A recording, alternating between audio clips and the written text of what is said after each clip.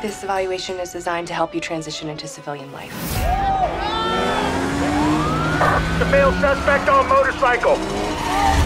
Finding employment will be challenging. When can I get my bike back? It's the third time I've seen you here this week, and I've never seen you before that. I'm just new in town. Nobody's new in this town. Do you have family here? The legend, Dean Miller, speed killer. And you are? You knew my mom? Why did you come here? I want to race. Your time has passed. I got $76 to my name right now. All right, repeat after me.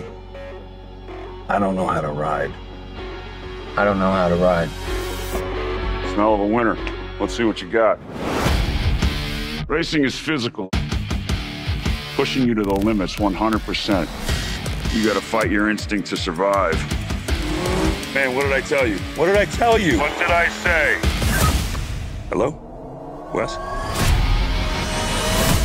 Who's that? Bobby Tresco. He's funded by one of the wealthiest families in the state. A lot of guys are gonna come after you in this sport. You don't beat him by slugging him. You beat him with skill.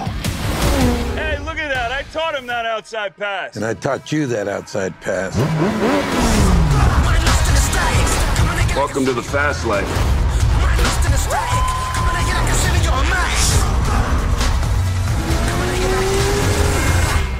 Trust me?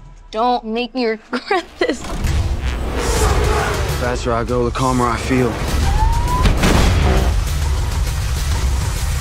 So you just need to keep going faster.